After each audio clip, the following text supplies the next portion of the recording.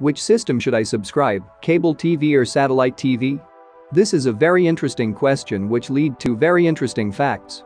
In this video, I, Lord Patil will try to explain you these systems, after which you could decide which is a best buy for you. Let's start with satellite TV. Its technical term is direct broadband satellite. There are five major components in a satellite system. The programming source, the broadcast center, the satellite, the satellite dish, and the receiver. Direct broadcast satellites used for transmission of satellite television signals are generally in geostationary orbit 37,000 kilometers above the Earth's equator. The reason for using this orbit is that the satellite circles the Earth at the same rate as the Earth rotates, so the satellite appears at a fixed point in the sky. Thus satellite dishes can be aimed permanently at that point and do not need a tracking system to turn to follow a moving satellite. Satellite TV starts with a transmitting antenna located at the uplink facility. Uplink satellite dishes are very large, as much as 9 to 12 meters in diameter. The increased diameter results in more accurate aiming and increased signal strength at the satellite. The uplink dish is pointed toward a specific satellite, and the uplinked signals are transmitted within a specific frequency range so as to be received by one of the transponders tuned to that frequency range aboard that satellite.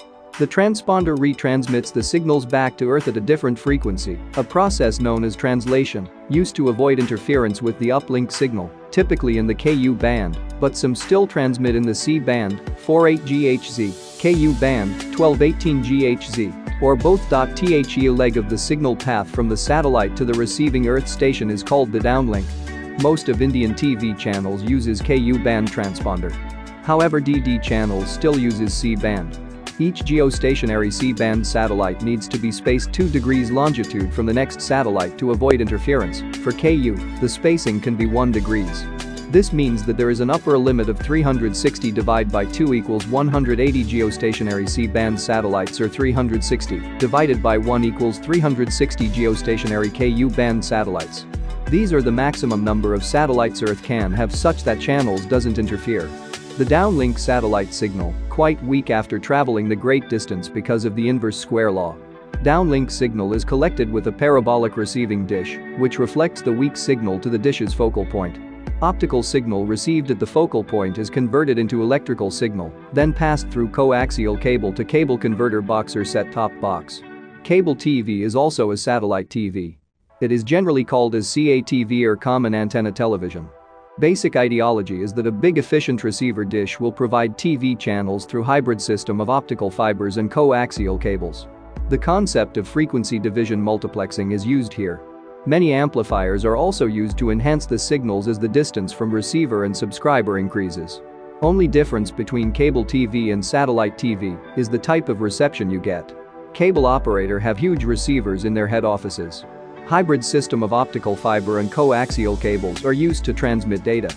There is always a problem due raindrops as wavelength of raindrops can be compared with Ku band wavelength.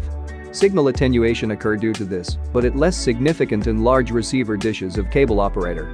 Direct broadband satellite can be affected by rain and snowfall until the weather clears out. If you are living in rural area cable operators might not afford to set up receivers there. You'll receive poor quality signal over coaxial cables over many amplifiers. So, direct broadband satellite will be best buy here. Cable TV is more useful only in places with bad weathers. If a power failure occurs at the head office of cable operator, entire list cable subscribers are affected by it. People not having weather problems and living in rural area must opt for direct broadband satellite.